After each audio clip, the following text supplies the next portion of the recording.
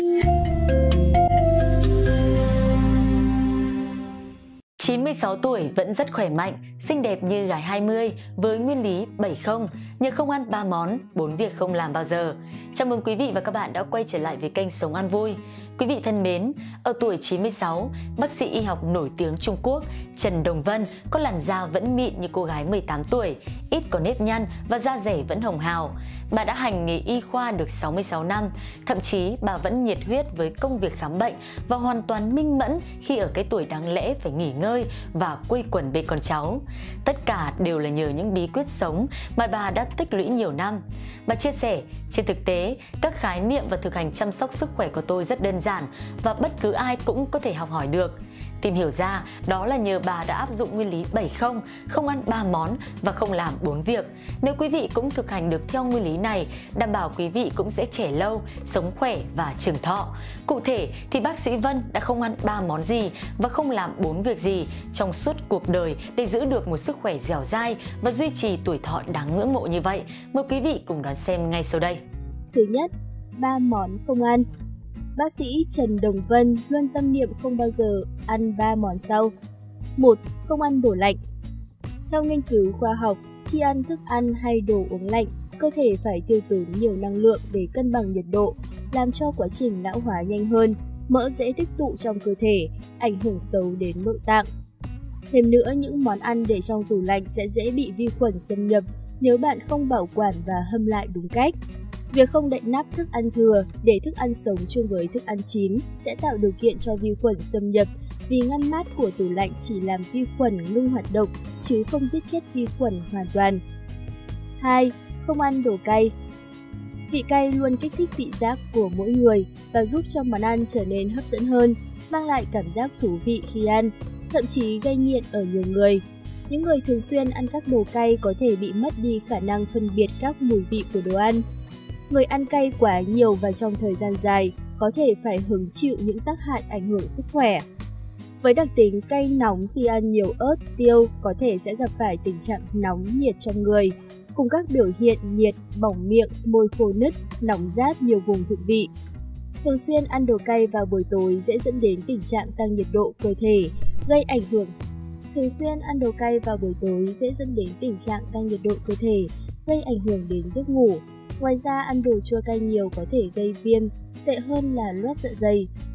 Tính cay nóng của ớt tiêu khi ăn nhiều gây tổn thương đến dạ dày do trong bột ớt có các aflatoxin và các hợp chất N-nitroso cùng hàm lượng vitamin C, beta-carotene tốt cho sức khỏe nhưng có thể kích thích các chứng bệnh đại tràng, gây ra tình trạng đau dạ dày, viêm mạc dạ dày, viêm loét dạ dày tá tràng. Một số nghiên cứu khoa học cho biết ăn nhiều chất cay và kéo dài có thể dẫn đến ung thư dạ dày, nhất là đối với các loại ớt bột có thuốc nhuộm màu chứa sudan. Ngoài ra, ớt khi bị mốc chứa chất aflatoxin cũng có khả năng gây ngộ độc và ung thư. 3. Không ăn đồ nhiều chất béo Ai cũng biết chế độ ăn nhiều chất béo không có lợi cho sức khỏe của con người, trong đó có là gan. Gan là một cơ quan trọng yếu góp phần vào việc tiêu hóa và chuyển đổi các chất dinh dưỡng trong cơ thể, Gan tiết ra mật giúp tiêu hóa và hấp thu mỡ. Khi bạn nạp vào cơ thể một lượng chất béo quá lớn, gan không thể chuyển hóa hết, sẽ dẫn đến một lượng lớn tích tụ trong gan, gây ra gan nhiễm mỡ. Ăn quá nhiều chất béo cũng dẫn đến tình trạng thừa cân béo phì. Khi đó, gan sẽ chuyển một phần năng lượng thừa sang tích lũy dưới dạng mỡ động ở gan, gây nên tình trạng gan nhiễm mỡ. Ngoài ra, món ăn chiên rán khi vào cơ thể sẽ phân hủy các phân tử dầu, tạo ra các gốc tự do có thể gây tổn thương tế bào. Nếu tích tụ trong thời gian dài thì các phân tử này sẽ hình thành nhiều khối u vô cùng nguy hiểm. Cùng với đó, khi thức ăn được chiên đi chiên lại nhiều lần, sẽ sẽ bị oxy hóa do dầu tiếp xúc với oxy từ bên ngoài môi trường.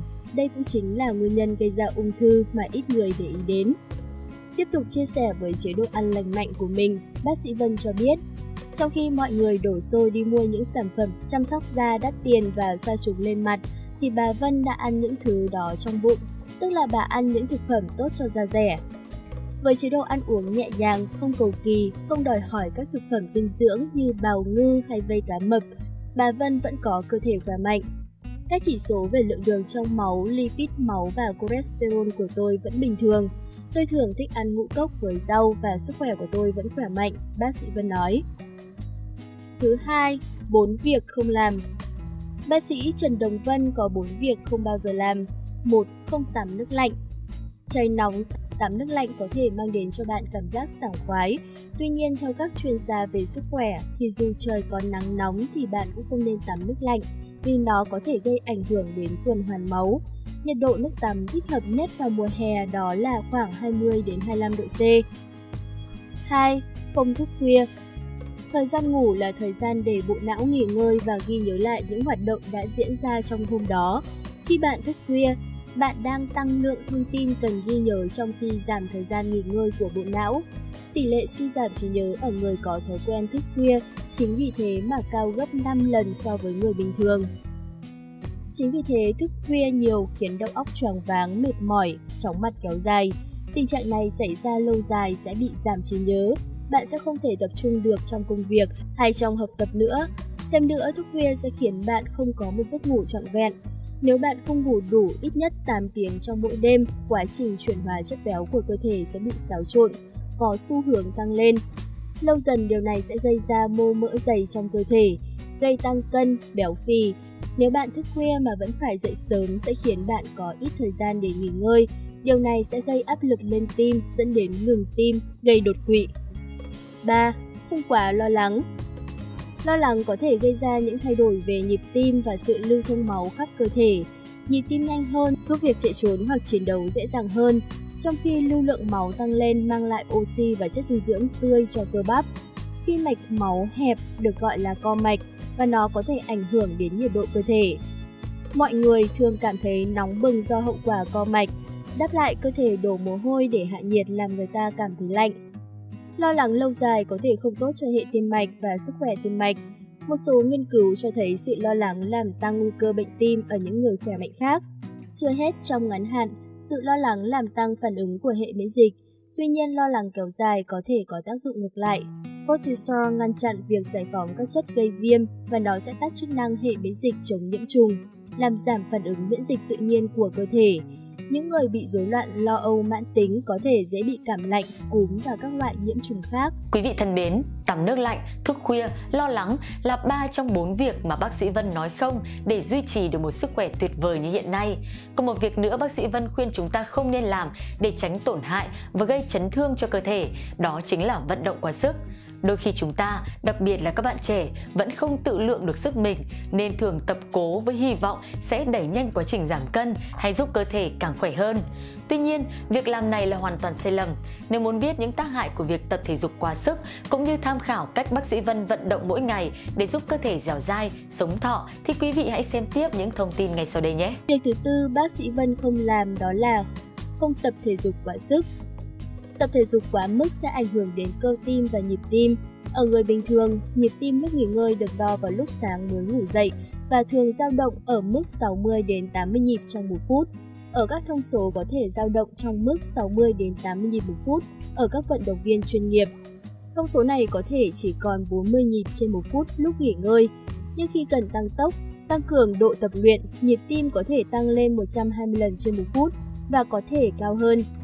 Việc tăng nhịp này nhằm mục đích đáp ứng nhu cầu năng lượng và oxy cho cơ thể lúc luyện tập.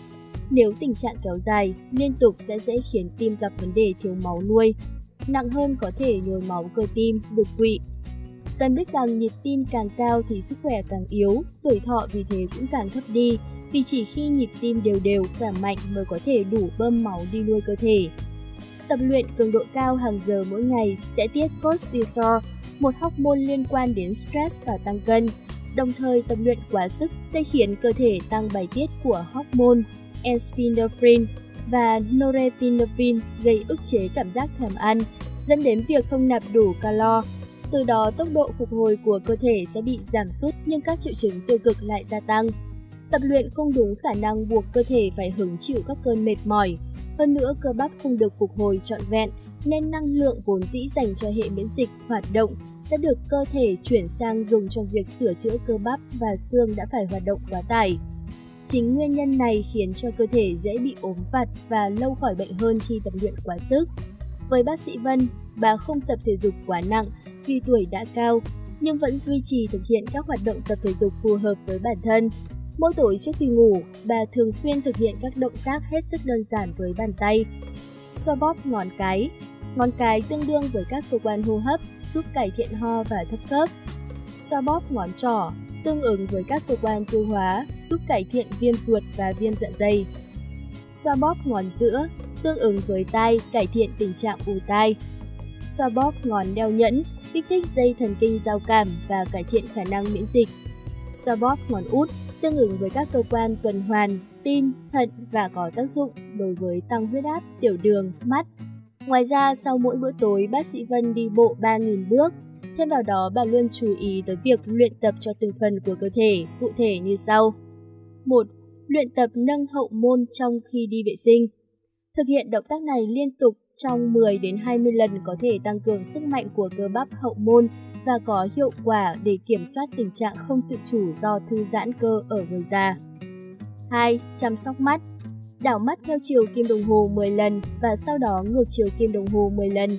Ngoài ra có thể di chuyển mắt lên xuống, trái, phải. Điều này giảm mỏi mắt, thư giãn cơ mắt và bảo vệ các mạch máu thần kinh mắt.